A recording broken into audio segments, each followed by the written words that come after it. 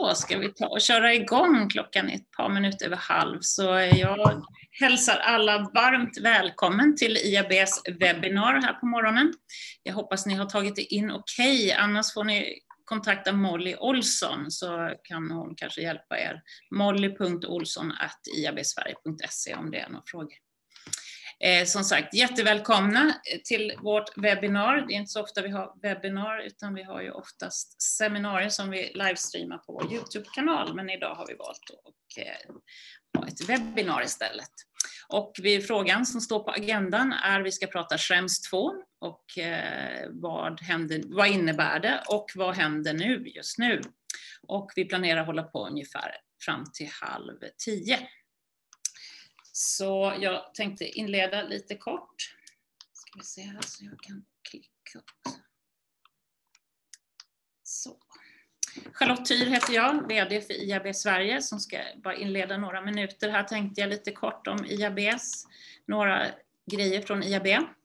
Eh, jag tror alla har sett agendan som anmält sig och eh, som sagt, vi kommer ju prata, ge en inblick i Schrems 2-domen som vi vet är ett stort eh, har varit efterfrågat från våra medlemmar. Vi har pratat om det här i september också, eh, men vi tyckte det nu var ett bra läge att ta upp det igen eftersom det finns mycket frågor och en ett liten statusuppdatering vad som händer just nu.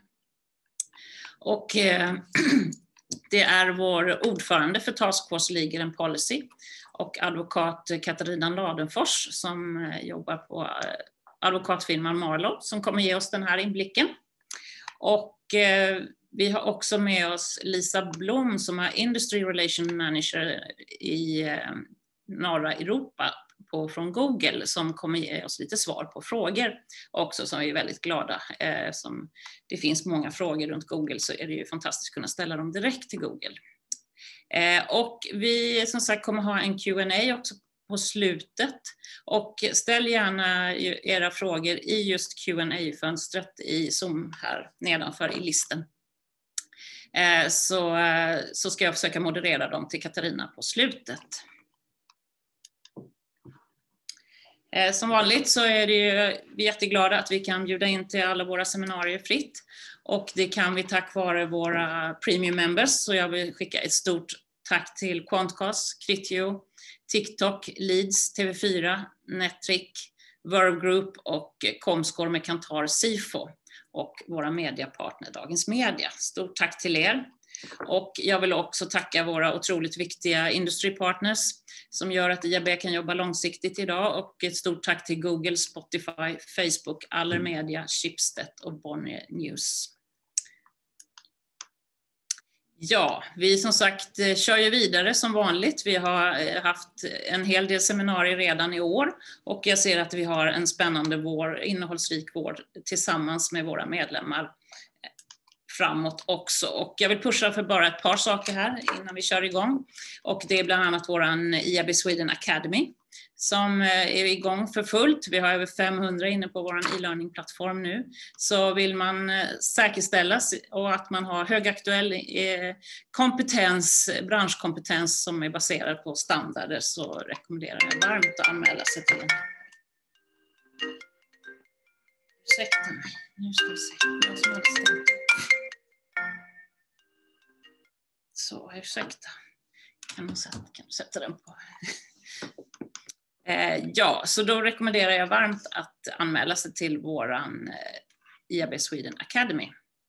Och det finns eh, två kurser, en som riktar sig till säljare och en som riktar sig till köparsidan, Digital Manager Buying and Planning. Och vi har också nu en diplomkurs om Programmatic. Så det är ett tips. Jag vill också tipsa om alla de standard och guidelines som finns under våran just flik standard och guidelines på hemsidan.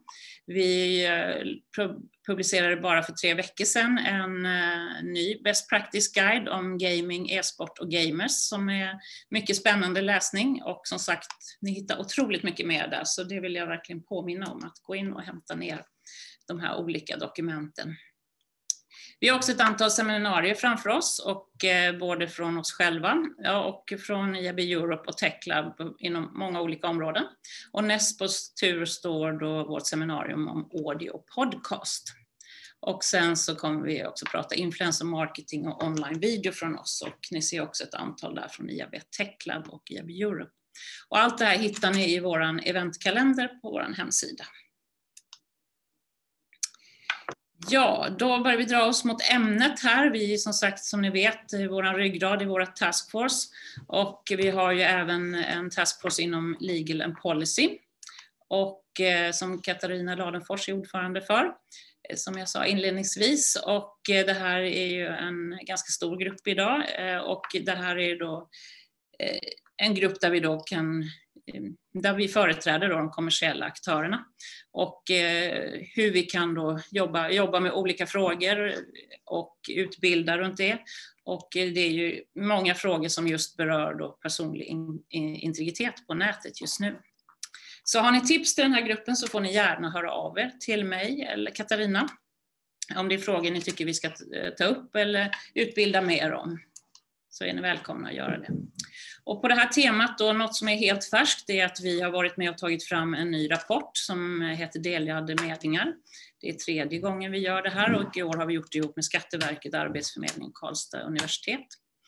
Och den här eh, speglar precis svenska folkets attityder till digital integritet eh, idag. Och den här rapporten kommer gå ut till alla våra medlemmar här inom ett par dagar. Så håll utkik efter den, den innehåller massa intressant information. Så eh, den kommer i ett mejl till er. Innan jag lämnar över ordet just till Katarina så tänkte jag nämna vår tjänst till medlemmar som är Fråga advokaten. Eh, en tjänst som där man då kan få kort och snabb konsultation från eh, Marlo, advokatbyrån Marlo. Man kan också få en konsulttimme och även rabatterat arvode om man vill ha lite mer omfattande konsulthjälp. Så det här är ett jättebra tips. Det finns ju många frågor på agendan just nu som man kan ha frågor om. Så det var vad jag tänkte inleda lite med. Så nu så hoppas jag att jag har Katarina med mig här som ska ta över ordet tänkte jag. Så det är alltså Katarina Ladenfors som är advokat och partner till advokatfirman Marlo som jag lämnar över ordet till. Välkommen Katarina! Tack så mycket! Jag upptäcker, ska vi se här, nu ser vi dig också. Ja, våra sms syns här. Jag försökte skicka till dig att du ska sätta på flygplansläge. Ja, det var det jag trodde jag hade gjort. jag Inga hemliga sms i alla fall. Så det... De syns i rutan. Nu ja, de syns i rutan. Nu har jag satt på lyckades ringa också, så det var jättebra. Men, ehm, nu har jag satt på flygplansläge i alla fall. eh, nu ska vi se. Nu ska jag försöka dela här. Eh, Då ska jag ut. Eh, så, nu. Så. Ja. Ska vi se. Man får ju leva lite med det här eh, teknikstrul och, och sådana saker. Det börjar alla bli vana vid här. Eh, ja, välkomna igen.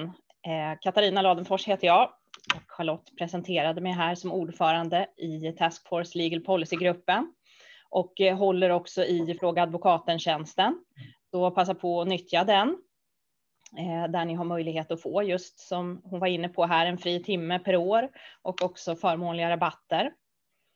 Eh, jag har ju fått i uppdrag att prata om EUs e dom här gällande Privacy Shield idag och Schrems 2 och vad som, lite vad som händer just nu.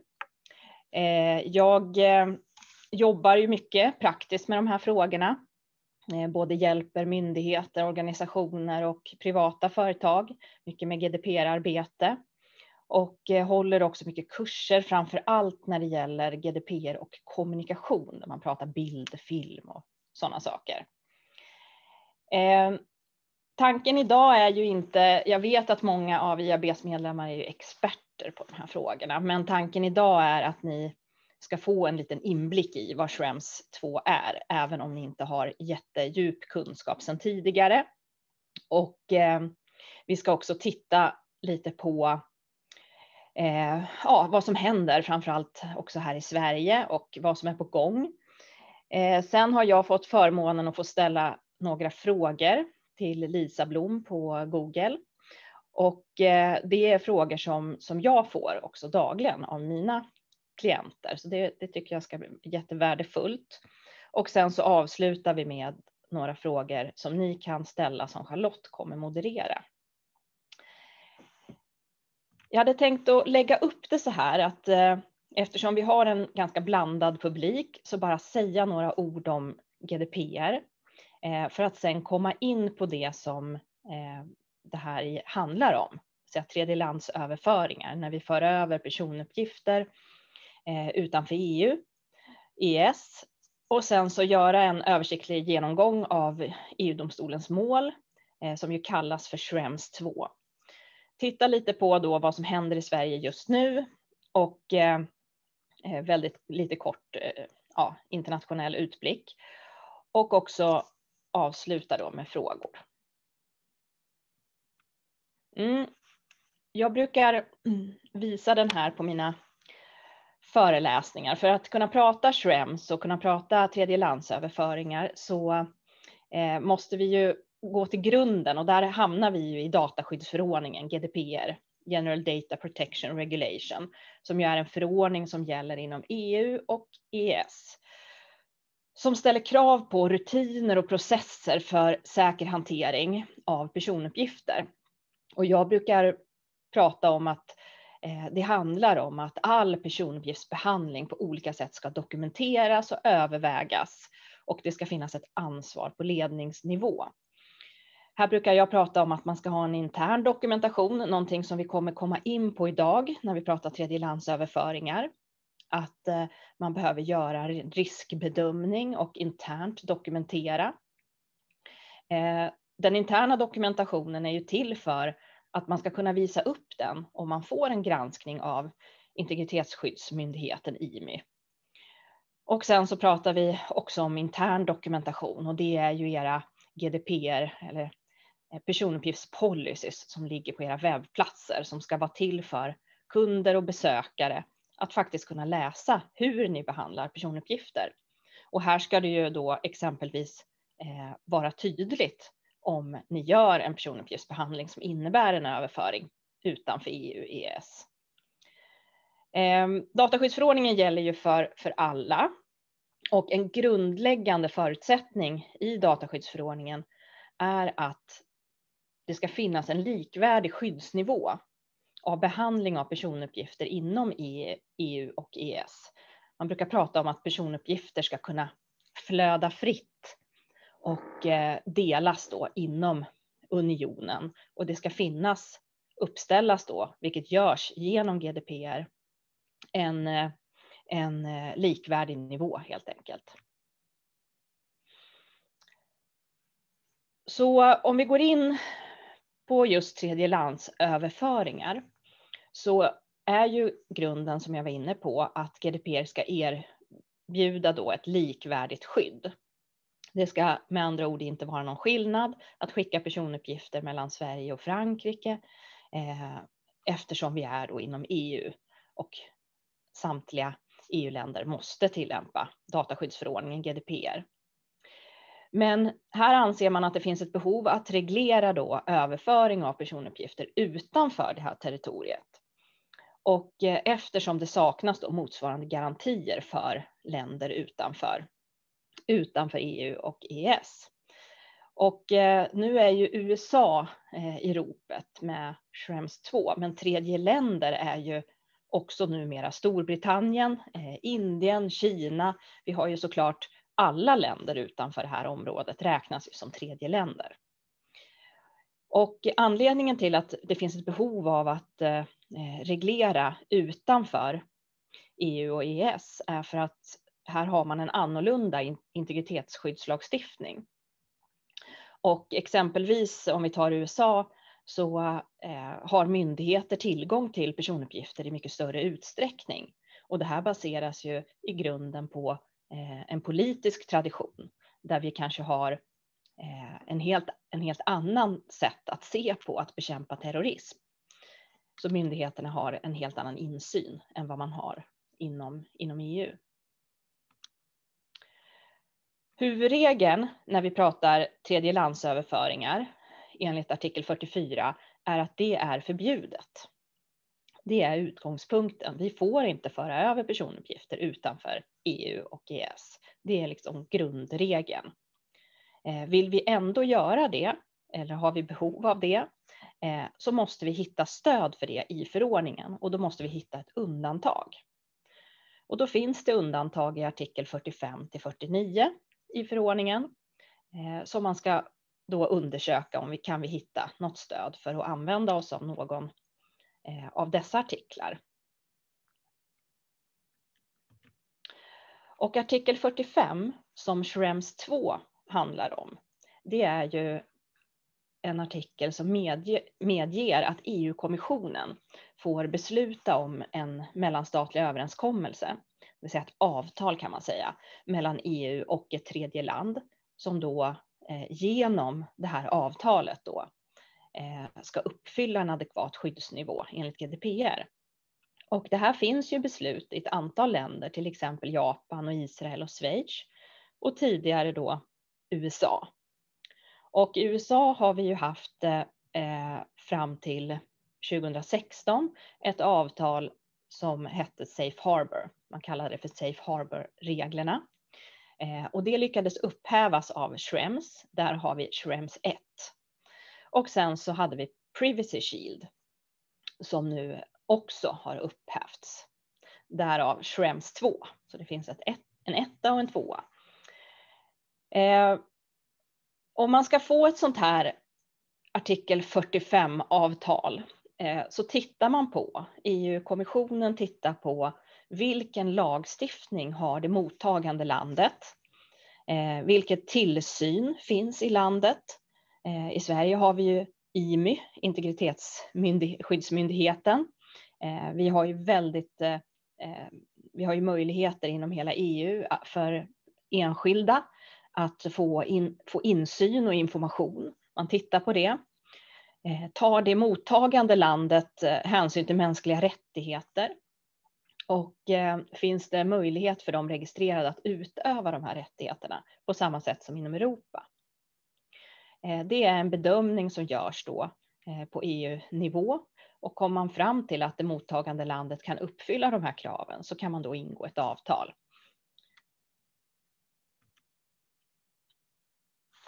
Om man inte har ett avtal, det vill säga som USA nu då, eh, så kan det finnas andra undantag som man kan stödja sig på. Och eh, det skulle kunna vara att det finns en godkänd uppförandekod för en viss bransch som är godkänd.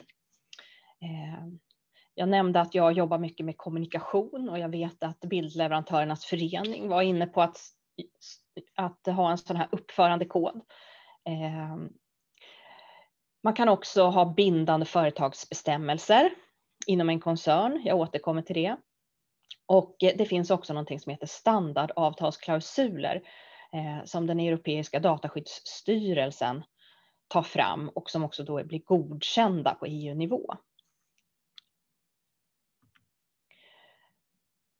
De bindande företagsbestämmelserna, det finns faktiskt två exempel idag. Ett, jag tar ett exempel här. Eh, det är Tetra Pak. De var de första som fick, som godkändes då av Datainspektionen. Eh, idag heter ju Datainspektionen Integritetsskyddsmyndigheten, IMY.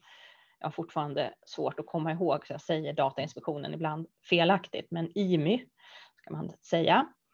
Eh, Tetra Pak har tagit fram rättsligt bindande bestämmelser inom koncernen har, har då också fått dem utvärderade och godkända. Och Datainspektionen eh, Eh, ansåg att de här företagsbestämmelserna tillhandahåller lämpliga garantier för överföring av personuppgifter i enlighet med de här artik artiklarna i eh, dataskyddsförordningen. Och därför så är de då eh, godkända att luta sig mot för att få fortsätta att överföra uppgifter inom koncernen. Det här ska ju då utvärderas eh, regelbundet. Ett annat undantag som jag får jättemycket frågor om är artikel 49. Och eh, det är ett undantag som man ska kunna stödja sig på i vissa undantagssituationer. Och eh, här kan man säga att eh, det här undantaget har i praktiken aldrig tillämpats. vilket gör det lite svårt att, att ge vägledning i det. Däremot så tillämpas det ganska mycket idag eftersom att företag vill fortsätta att föra över personuppgifter till exempelvis USA. Och eh, då kan man stödja sig på ett samtycke.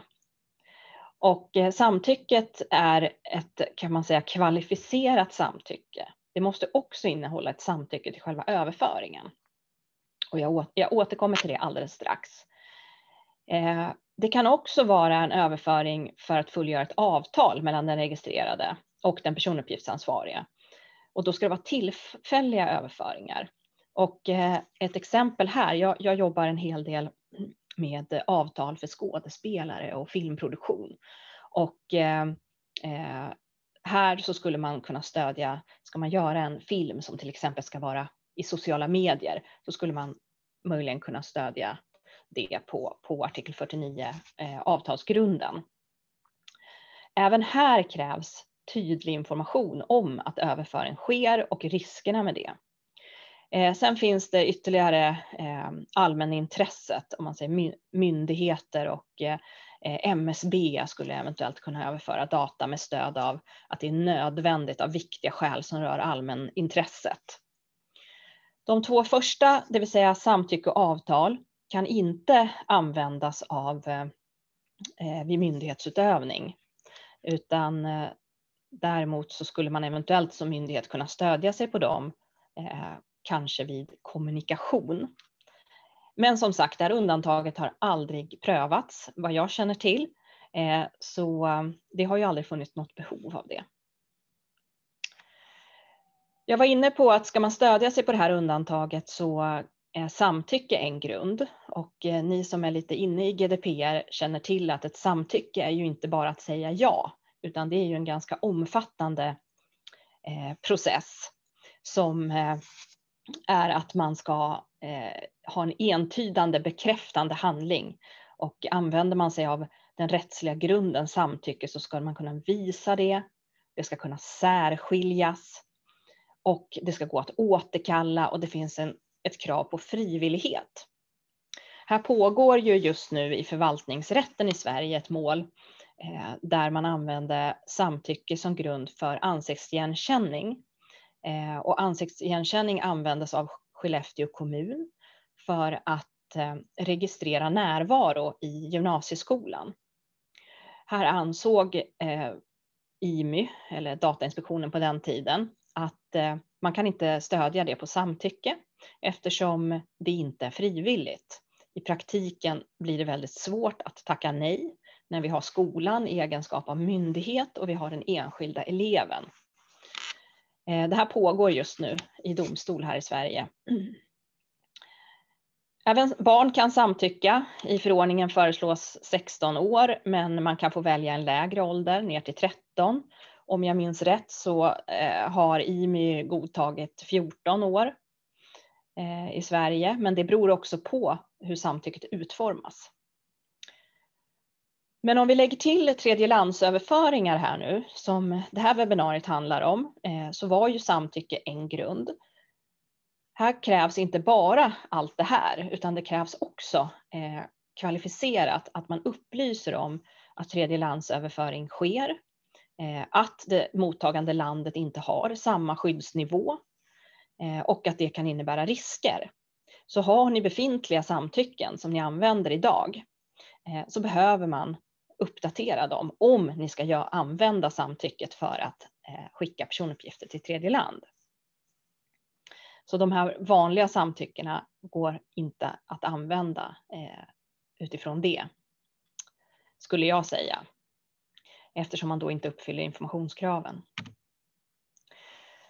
Ja, med det tänker jag att vi skulle gå in på själva Schrems-målet. Eh, det här är Max Schrems som är en dataskyddsaktivist, kallar han sig själv för, en österrikisk eh, eh jurist som eh, ägnar sitt liv åt att eh, kämpa för eh, mänskliga rättigheter och eh, dataskydd. Han verkar också ha ett, ja, det är min tolkning, men han verkar ha ett visst agg mot stora bolag såsom Facebook eftersom han har drivit mål mot Facebook och driver mål och även eh, mot andra stora, eh, stora företag eh, som behandlar personuppgifter. Han driver en organisation som heter None of your business som är oerhört aktiva eh, och driver just praxismål i EU-domstolen och även nationella mål eh, i medlemsstaterna inom EU. Och eh, Max Schrems eh, fick en prövning eh, i EU-domstolen gällande Facebook Ireland hantering av personuppgifter. Och Facebook har ju sitt moderbolag i USA. Och Schrems menade att Facebook var skyldig enligt amerikansk rätt att tillhandahålla personuppgifter till amerikanska myndigheter och att uppgifterna användes i olika övervakningsprogram.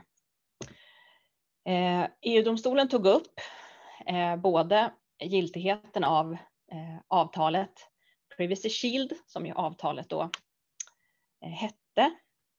Och man tog också upp giltigheten av användning av så kallade standardavtalsklausuler som den överförande parten kan anta då för att föra över personuppgifter till tredje land.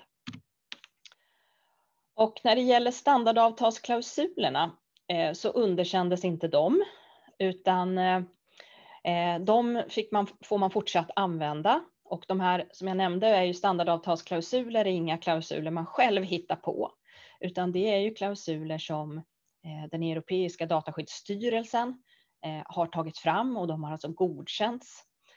Där leverantören eller den som ska överföra personuppgifter till tredje land tar på sig ett avtalsrättsligt ansvar eh, med säkerhetsåtgärder kan man säga. Däremot så uttalar EU-domstolen att eh, om man ska luta sig mot standardavtalsklausuler eh, så ska man då kunna säkerställa att eh, det ändå ger en väsentligt likvärdig skyddsnivå eh, för den som den registrerade som finns i unionen. Så ska en organisation använda sig av en tjänst som har standardavtalsklausuler som stöd för överföring så ska man trots det kunna visa att det, finns, att det, att det innebär en väsentligt likvärdig skyddsnivå. Och det här är ju eh, ganska, ganska svårt för ett svenskt bolag skulle jag säga. Eh, men det är det kravet som EU-domstolen ställer upp. När det gäller avtalet mellan EU och USA, Privacy Shield, så underkändes det. Och eh, där tyckte EU-domstolen att eh, eh USA inte uppfyllde då det här kravet på adekvat skyddsnivå i förhållande till, eh, eh till rätten till privatliv, det vill säga eh, e EU-stadgan, artikel 7 och artikel 8, som ju är grundläggande rättigheter och att det saknas insyn i amerikanska myndigheters behandling av personuppgifter. Det saknas också egentligen möjlighet här för en enskild att, eh, som tycker att mina personuppgifter behandlas fel i USA. Vad kan jag göra? Skulle jag kunna driva ett mål i USA mot ett företag eller mot en myndighet till exempel? Nej, det, eh, det finns en ombudsman. Så därför så anser man att eh, Eh, den enskilda har i praktiken inga möjligheter, varken till insyn eller till agerande om man tycker att personuppgifterna behandlas felaktigt. Så vad innebär det här då? Eh, nu rörde ju målet Facebook, men eh, målet innebär ju att överföring av personuppgifter till tredje land i alla typer av tjänster, molntjänster, eh, ja, samarbetspartner som ni har kanske i tredje land i USA eh, också då omfattas. Så även om målet specifikt i det här fallet rörde Facebook så innebär att man har upphävt avtalet inte bara eh, potentiella problem för Facebook utan för alla tjänster som för över personuppgifter till, till USA. Och eh, så att nu har man inte längre möjlighet att stödja sin överföring på Privacy Shield, utan då måste man titta på de här andra undantagen som vi var inne på. Och eh, eh, utöver eh, samma dag eller om det var några, några dagar efter den här domen kom så inledde Max Schrems eh, 101 ärenden mot andra företag och jag kommer komma in på vilka företag det rör i Sverige. Eh, utifrån att man använder tjänster som för över personuppgifter eh, till, till USA. Och eh, det rör främst eh, tjänster som Facebook erbjuder och eh, Google Analytics. Och eh, här har man också inlett ett förfarande mot eh, Facebook angående de här standardavtalsklausulerna i irländsk domstol. Och det ligger för närvarande för avgörande och det verkar skjutas upp och eh, man har delat upp målet som jag förstår det. Och, eh, så det här pågår just nu. Det skulle ha kommit en dom i december. Och då kommer man ju pröva specifikt Facebooks användning av de klausulerna. Men eh, eh, nu har jag skrivit rekommendationer till er som vill fortsätta kommunicera med personuppgifter i sociala medier, men det här gäller ju kanske också såklart bredare, även om Schrems två rör eh, har haft sociala medier som grund. Här är mina, min rekommendation att man ska kontrollera om användningen innebär en överföring av personuppgifter till tredje land. Till exempel använder ni molntjänster eh, merparten av alla sociala medier för över personuppgifter till tredje land. Eh, Facebook, LinkedIn, Instagram, Youtube och ja, i princip samtliga som jag har tittat på. Eh, det tycker jag är ett första steg. Kartlägg vilka tjänster ni har. Eh, det ska ni ju redan egentligen ha gjort, men vilka av dem då som, som eh, innebär en överföring till tredje land till USA eller till något annat land, tredje land. Eh, kontrollera om sociala mediet eller tjänsten då tillämpar sådana här godkända standardavtalsklausuler. Eller om det finns någon annan typ av stöd här i eh, eh, såsom kanske avtal eller samtycke eller och sen så behöver man genomföra en så kallad riskbedömning eller kons eh, konsekvensbedömning och jag återkommer till det. Man kan ju också fundera på om man kan begränsa överföringen. Jag jobbar med en hel del organisationer som också kanske har en, en kanal på sin webbplats eh, med eh, utgivningsbevis. Man har ett nyhetsflöde till exempel som man har ett utgivarskydd för. Eh, delar man personuppgifter för journalistiska ändamål från den kanalen, då omfattas inte det av GDPR och omfattas det inte av GDPR så hamnar vi aldrig ens i frågan om tredjelandsöverföringar. Jag tycker också man ska undersöka tjänster som nu är föremål för prövning. Ehm, Google Analytics och Facebook Connect är framför allt. Finns det inställningsalternativ här? Ehm, hur, hur, kan vi använda de här tjänsterna på ett, eh, liksom, ett sätt som kanske inte innebär personuppgiftsbehandling? Gör den bedömningen. Mm. Jag var inne på att man behöver göra en konsekvensbedömning eller en riskbedömning. Den europeiska dataskyddsstyrelsen har satt upp eh, i ett dokument. Det finns eh, rekommendationer eh, som ligger på deras webbplats som heter 01 20 20 och 02 2020 som handlar om att man ska göra en bedömning av tredjelandsöverföring och tredjelandets skyddsnivå. Eh, vi sitter och gör den här typen av bedömningar eh, hos oss och eh, det är en formalistisk process som behöver göras och varför ska man göra den? Jo, för att identifiera eventuella risker, men också för att dokumentera och tänka till och ha dokumentation. Då kommer vi in på den här interna dokumentationen igen och visa upp om man får en, en granskning. Det finns också eh, någonting som kallas för EUs nödvändiga garantier som man ska beakta vid tredjelandsöverföring och i där ska man till exempel göra en proportionalitetsbedömning eh, om riskerna är proportionella i förhållande till ändamålet. Och det här blir väldigt juridiskt. Jag tänker bara att jag snabbt ska gå igenom den här riskbedömningens punkter. Här är exempel på en av de här eh, rekommendationerna som EDPB har tagit fram. Jag kan ju också nämna att de här är väldigt ifrågasatta i, eh, inom hela EU och man överväger att försöka upphäva dem och få liksom, tydligare och klarare besked. Eh, men de gäller ju för närvarande i alla fall. För att göra en sån här riskbedömning eh, om tredjelandsöverföring så måste man börja med att kartlägga eh, vilken överföring som sker, vilka personuppgifter som behandlas. Och eh, här gör, ska man också göra en form av rimlighetsbedömning om det är relevant eller eh, adekvat, är personuppgifterna adekvata, relevanta och inte för omfattande i förhållande till ändamålet. Sen ska man också titta på vilket rättsligt stöd man använder och då kommer man in på vilken sån här överföringsmekanism, till exempel då standardavtalsklausuler, det använder vi oss av. Eh, man ska också sen göra en bedömning om eh, eh, ja, rättsligt skydd för personuppgifter i tredje landet, vilket ju som sagt blir väldigt svårt.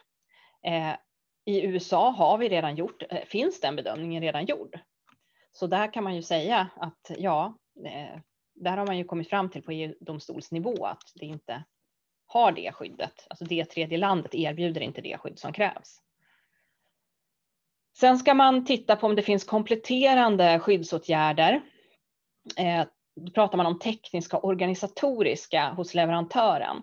Och organisatoriska skyddsåtgärder kan vara särskilda krypteringsfunktioner, till, eller eh, förlåt, tekniska är till exempel användning av krypteringsfunktioner. Organisatoriska kan ju vara avtal till exempel. Eh, sen ska man titta om man kan göra formella förfarandeåtgärder. Jag var inne på att de, den prövning som pågår just nu mot svenska bolag handlar om Facebook Connect och Google Analytics. Här kan man titta på om det finns inställningsalternativ till exempel. Och sen ska det här vara ett dokument som utvärderas var sjätte månad om man nu ska fortsätta att överföra till tredje land. Jag har redan varit inne på det här, man måste i den här bedömningen eh, ta hänsyn till EUs nödvändiga garantier. Och det är att man ska se den här bedömningen utifrån eh, om det finns proportionalitet till exempel, om det är eh, och att det ska vara tydligt för användaren och, och eh, precisera alla grunder och sånt som man använder sig av. Och det här är ju alltså en formalistisk process som ska dokumenteras och skrivas ner i ett dokument. Eh, 101 olika ärenden eh, initierade Max Schrems efter Schrems 2-domen. Och eh, man valde att, att anmäla till diverse tillsynsmyndigheter i, i Europa och framför allt då till österrikiska tillsynsmyndigheten eftersom Eh, Max är från Österrike, så det kanske var enklare för honom.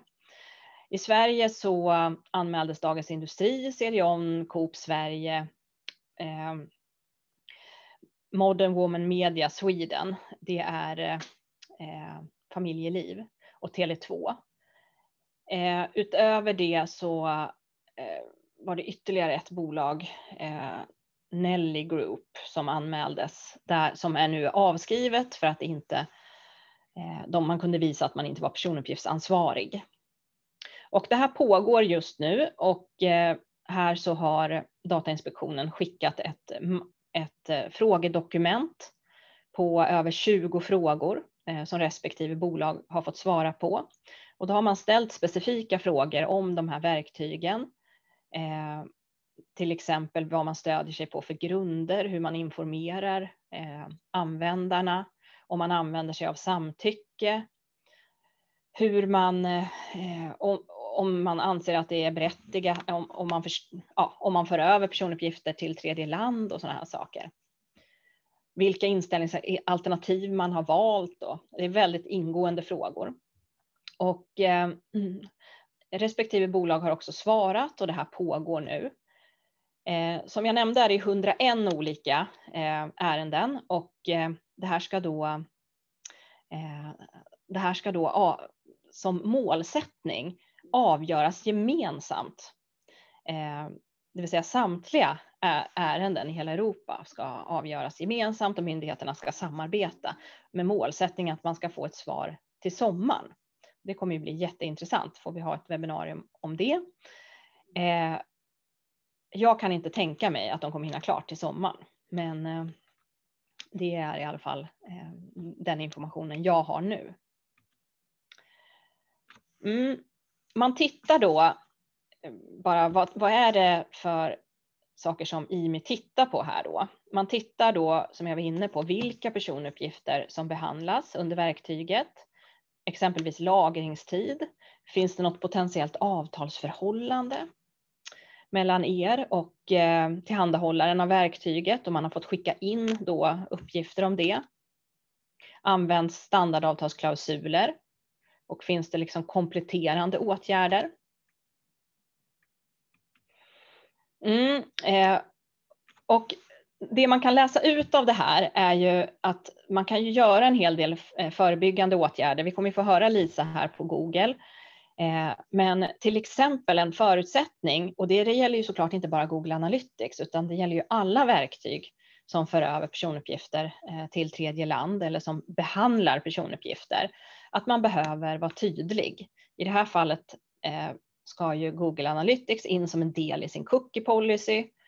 Man ska precisera syftet och beskriva inställningsalternativ och vilka tjänster som används och att man ska lämna tydlig information. Man ska också titta på om man kan hämta in ett samtycke i förväg och då beskriva då eh, om man använder verktyget så att det förs över uppgifter till tredje land, då ska ju samtycket omfatta det. Och här behöver man ju också då göra, som jag nämnde, en riskbedömning. Ja, det här är lite bra att ha, min sista slide. Tiden rinner iväg. Jag är tre minuter över tiden. Eh, se över era avtal och dokument. Eh, gör en skriftlig konsekvensbedömning eller riskbedömning eh, avseende system, avseende era samarbetspartner som ni använder eh, om ni ska fortsätta föra över personuppgifter till tredje land.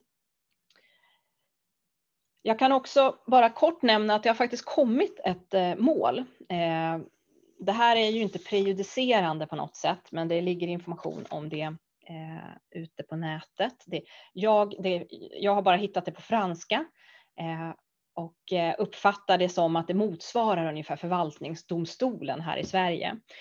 Det handlar eh, om ett bokningssystem i Frankrike för covid-19 vaccin eh, där driften då, eh, tjänsten eh, drevs av Dr. Lib som då använder sig av Amazon Web Service, eh, SARL, eh, som då finns i Luxemburg men som har moderbolag i USA och där man menade att Eh, Amazon där var skyldig om, på förfrågan av amerikanska myndigheter och egenskap av personuppgiftsbiträde då att lämna över personuppgifter till, till USA.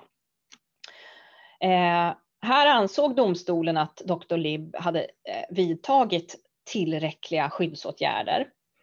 Eh, därför att man då hade eh, man hade använt en särskild krypteringsfunktion bokningssystemet innebar bara att jag då som vill ha vaccin fick intyga att jag eh, fanns, eh, att jag var en prioriterad målgrupp. Eh, det var inga, ingen annan hälsoinformation som fördes över och man använde även en, en krypteringsfunktion eh, innan överföring. Och ehm, eh, därför så ansåg, och att man hade även regler för radering att uppgifterna raderades senast tre månader och att de registrerade hade också möjlighet att gå in och radera uppgift, eh, uppgifter. Och så ansåg man då med beaktande av allt det här att det faktiskt förelåg tillräckliga skyddsåtgärder så man har vidtagit både tekniska och organisatoriska skyddsåtgärder. Eh, det här är inte prejudicerande på något sätt, men det är ändå intressant att det pågår den här typen av, av bedömningar nu inom hela EU. Mm. Det var vad jag hade tänkt att, eh, att säga och eh, fem minuter efter tiden tänkte jag att jag skulle eh, ställa tre frågor här till eh, Lisa Blom på Google. Och en fråga som jag tycker är intressant utifrån det här eh, Schrems är vilka anpassningar som Google har gjort efter Schrems 2. Yes, kul, kul att vara här. Tack för en jättespännande dragning Katarina. Um, anpassningar efter främst 2. Ja, det, det, det, stora och kanske enkla svaret på det är att i och med att Privacy Shield eh, ogiltigt förklarades så har vi gått över till standardavtalsklausuler för de överföringar som sker. Egentligen i, i alla våra tjänster, även om det i det här sammanhanget mest har handlat om Google Analytics. Eh, men det är ju det vi gått över till även för våra, våra cloud-kunder till exempel. Eh, och det är ju som du har varit inne på en mekanism som, som säkerställer en, ett ytterligare lager av ja. avtalsförbindelser för att verkligen eh, få allt på plats. Sen har vi också, jobbar vi mycket med andra säkerhetsmekanismer man kan implementera just i Google Analytics. Eh, som IP-anonymisering som har varit uppe i debatten ett par gånger det sista, men också kryptering på olika sätt. och det, det, vi ser är väl att vi, vår bedömning är att de, vi uppfyller kraven, men det har ju å andra sidan inte testats ens, precis som du är inne på. Det ligger ju ett antal ärenden i pipeline. Ehm, men eh, det korta svaret är att vi har gått över till standardavtalsklausuler. Mm. Eh, det har ju varit en del diskussion i Ekot Eh, avseende flera myndigheter som har anmält sig själva till IMI för att man har använt eh, dataöverföring till eh USA eh, ehm, via deras hemsidor. Har du någon kommentar till det? Ja, men det har ju snurrat i, i media ett tag nu. Nu tror jag det har lagt sig lite grann, men eh, framförallt så, jag kan ju inte kommentera riktigt på myndigheternas egen bedömning varför de har känt att de behövt anmäla sig själva. Men i de delarna som gäller just Google Analytics så kan jag väl försöka klargöra några saker i alla fall. Um, och det första man behöver vara ganska tydlig med och som jag tror har varit lite luddigt i rapporteringen, det är att som som användare eller som kund till Google, i Google Analytics så äger du den data som överförs. Du äger den datan och kontrollerar hur och om den överförs till Google. Eh, så det, det är viktigt att komma ihåg att det är inte så att vi tar över datan och börjar göra en massa saker med den utan eh, du som kund äger den. Ehm, och det andra är ju precis som egentligen i förra frågan att Google Analytics har precis som våra andra tjänster gått över till standardavtalsklausuler så det är vår bedömning är att det inte är något problem att använda Google Analytics ehm, under gällande lagstiftning eh, och givet gällande domar. Ehm, det är svårt att uttala sig om potentiella framtida domar. Det blir mycket spekulation och det, det kan vi inte riktigt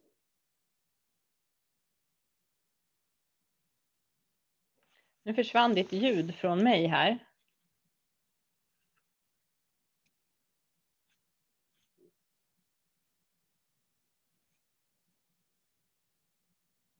Hallå, hallå.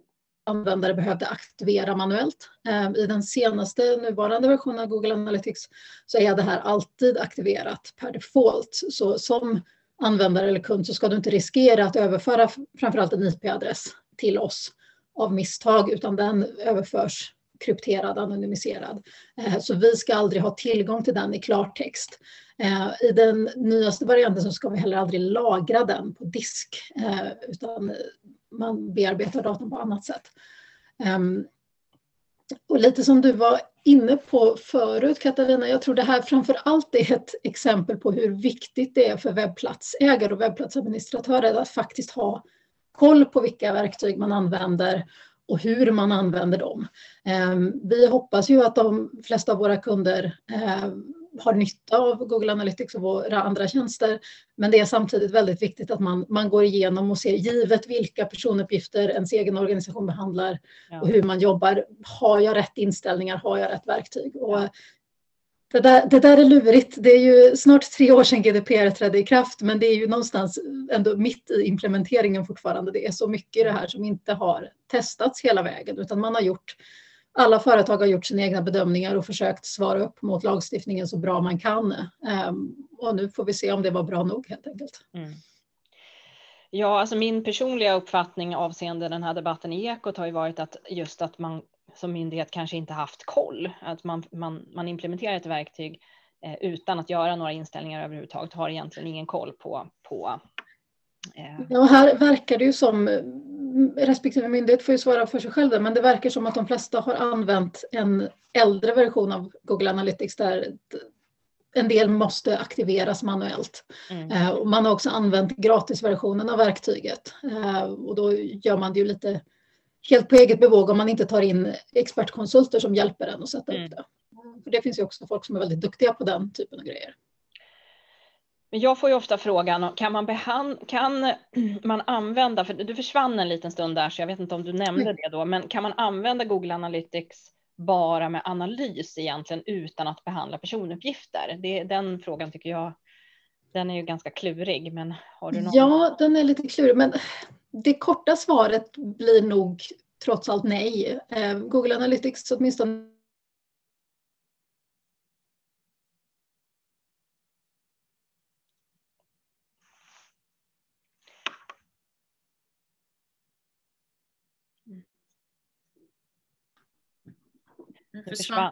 Avtalsrättsliga, organisatoriska och tekniska eh, skyddsåtgärder är på plats. Men givet hur det är byggt i grunden så är personuppgifter in scope, eh, mm. hur man än gör. Ja, korta svaret är nej, men ja, det finns inget. Ja, korta svaret är nej, men det finns lite ja. mer eh, nyanser. Det finns inget alternativ som begränsar eh, begränsar i alla fall. Eh, ja, det finns flera inställningar man kan göra som begränsar i vilken utsträckning personuppgifter behandlas och hur de behandlas om de ändå måste behandlas. Mm. Ehm, och där har vi en del eh, information och externa länkar som jag skulle kunna dela efter det här seminariet om det är intressant ja. att skicka ut till exempel. Mm. Tack så mycket. Eh, du försvann lite men jag tycker ändå att vi sammanfattade så eh, nu eh, om det är någon som har ytterligare frågor. Mm. Precis. Då ska För mig vi... eller Lisa kanske. Eh, jättetack ska ni ha både Katarina, väldigt tydlig och bra presentation måste jag säga och tack Lisa för att du var med och svarade på frågorna. Vi har fått in någon fråga här i alla fall. Ni får gärna ställa fler frågor nu när vi är klara med presentationen om det dykt upp några frågor. Vi har ju några minuter kvar i alla fall. Eh, och vi har fått in en i alla fall från Alex här som eh, Även om man har, så frågan är, även om man har inställt att servern ska bara vara i EU för till exempel Google och AVS, eh, så kan väl USA komma åt datan ändå via Cloud Act? Frågetecken. Ja, där kanske Lisa kan få hjälpa mig, men är det ett, äg, ett amerikanskt ägt bolag? Det var ju det som handlade om det här Dr. Lib-fallet, det vill säga att eh, moderbolaget kan ändå tvingas av dottern eller av eh, filialen att behöva föra över eh, personuppgifter. Eh, men vad säger Lisa, vad, har du någon synpunkt där när det gäller Cloud Act? Eh, Cloud Act har jag tyvärr inte detaljkoll på, men så både våra annons och våra cloudtjänster så jobbar vi ju extremt mycket både med de juridiska aspekterna av det eh, men också med många lager av kryptering och många andra säkerhetsåtgärder. Så det, jag vet inte om det här har fullt ut testats juridiskt än, eh, men cloud, våra cloudkunder ska kunna känna sig trygga med att deras data inte skickas vidare i alla fall. Mm. Eh, det, det, ska vara, det ska vara säkert.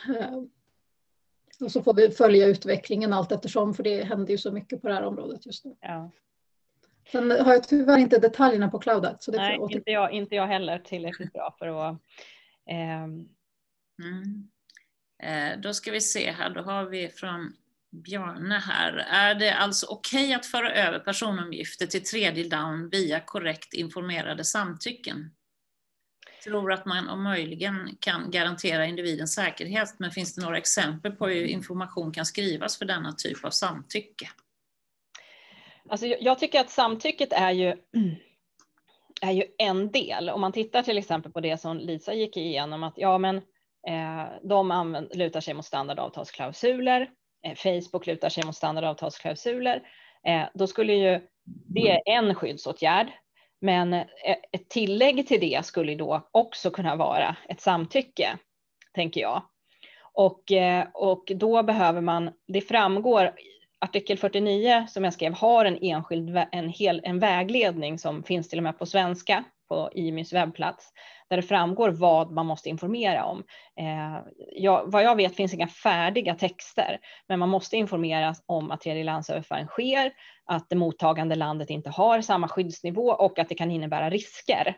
Det är lite förkortat kanske, men eh, så att det kanske inte är lika ro. Det ser lite, värre, ser lite mer om, värre ut att skriva på ett sådant samtycke, men det är den informationen som måste finnas med. Så jag skulle säga att ett, en riskbedömning behöver ni göra. Samtycke kan vara en del. Eh, I Doktor Lib-fallet hade man också ett avtal, för då kommer vi in på det här organisatoriska åtgärder där, där leverantören då eh, garanterade att att man inte skulle lämna ut uppgifter.